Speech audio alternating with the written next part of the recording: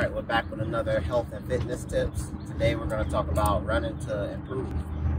Yep, yep. We're not just running just to run. We're not just running just to have fun, which we are, you know, having fun and we are, you know, getting in shape and getting fit and everything like that. But it's all about that improvement, trying to get fast. Yeah, you gotta want to get better and take it serious, you know, to a certain degree, so you can keep making progress.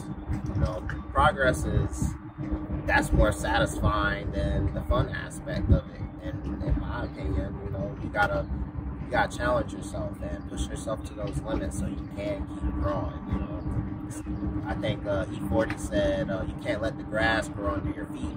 That's staying in one place too long. Yeah, got to keep it moving. Got to keep improving.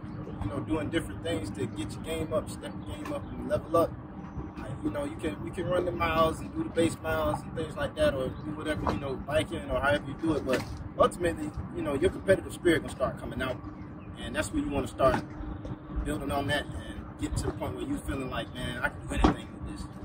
You just keep building towards that goal that you got set out for.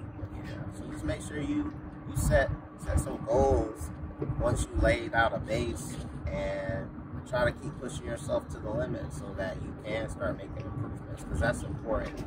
Uh, it'll keep you motivated, and seeing yourself make improvements. So you, you doing anything, just you know, even if it's the smallest thing, just try to get better at it because that's gonna make you better at the end of the day.